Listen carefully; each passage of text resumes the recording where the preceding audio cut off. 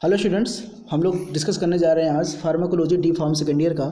Section number three पढ़ रहे हैं drug acting on central nervous system उसका चैप्टर नंबर सिक्सटीन हम लोग पढ़ने जा रहे हैं, जिसका नाम है सेंट्रली एक्टिंग मसल रिलैक्सटेंट देखिए, हमारी जो मसल्स होती है, उसको रिलैक्सटेड करने के लिए जो जिसका असर सेंट्रल नर्वस सिस्टम यानी ब्रेन से आता है, उसको सीएनएस बोलते हैं, या इसको हम सीएनएस मसल रिलैक्सटेंट के नाम से भी हम बात कर सकते हैं।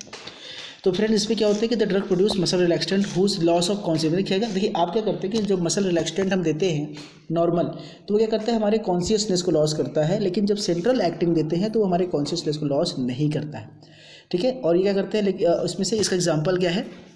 डाइजापॉम बैक्लोफेन मेफेंसिन और मेथाकार्बिमोल यही चार ड्रग होती है, इन्हीं चार ड्रग को हमको पढ़ लेंगे। चैप्टर बहुत छोटा सा है friends diazepam baclofen mephenesin and methocarbamol diazepam की बात करें तो ये जो ड्रग डाइजापॉम होती ये किसी भी पेशेंट को तब दिया जाता है जब उसके स्पाइनल कार्ड या आसपास के एरिया में कोई घाव हो, कोई लेसेंस हो, तब के लिए हम इसको देते हैं फ्रेंड्स ठीक है, आगे बात करें कि ये एक एक तरह का देखा जाए तो स्टिपमैन सिंड्रोम के लिए भी इसको यूज़ करते हैं। स्टिपमैन सिंड्रोम क्या होता है कि किसी भी पर्सन के स्पाइनल कार्ड के एरिया में स्पास मसल का स्पास बन जाता है, जिससे उसको चलने फिरने में दिक्कत होती है। ये ड्रग ऑफ़ चॉइस होता है, ठीक है friends in the cost by the tetanus के केस में इसको ड्रग ऑफ़ चॉइस की तरह यूज़ करते हैं। ठीक है, आगे बात करते हैं हम लोग, इसका नेक्स्ट ड्रग है।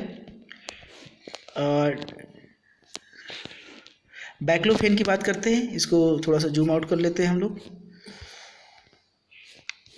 बैक्लोफेन क्या है, इसको भी आप स्क्रीन शॉट ले लीजिएगा। एक पावरफुल न्यूरोनल डिस्प्रेसेंट होता है। ये स्पाइनल कार्ड और प्रिसाइटिक मैकेनिज्म पे काम करता है। ये रिलीज़ ऑफ़ एक्साइटेटरी ट्रांसमीटर्स को रिलीज़ करता है।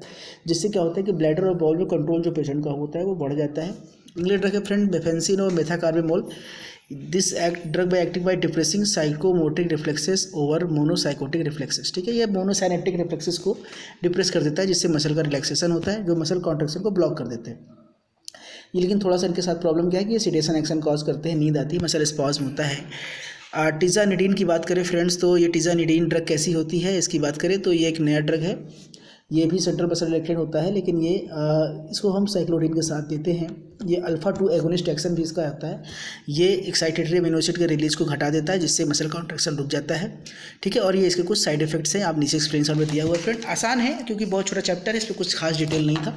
इसलिए बहुत एक्सप्लेन करने की ज़रूरत नहीं है और इस पर बहुत क्वेश्चन आता भी नहीं है। लेकिन आप नोट्स बनाना चाहते हैं इस चैप्टर का तो आप स्क्रीन लेकर पूरा आप नोट्स आसानी से बना सकते हैं। फ्रेंड्स हम लोग डिस्कस करेंगे। अगला चैप्टर है, बहुत इंपॉर्टेंट पार्किंसंजम डिज़ीज़ वाला। एंटी पार्किंसोनिज्म ड्रग उसकी मैकेनिज्म एग्ज़ाम में हर साल आती है। वो हम आपको नेक्स्ट क्लास में पढ़ाएँगे। ठीक है friends good luck thank you so much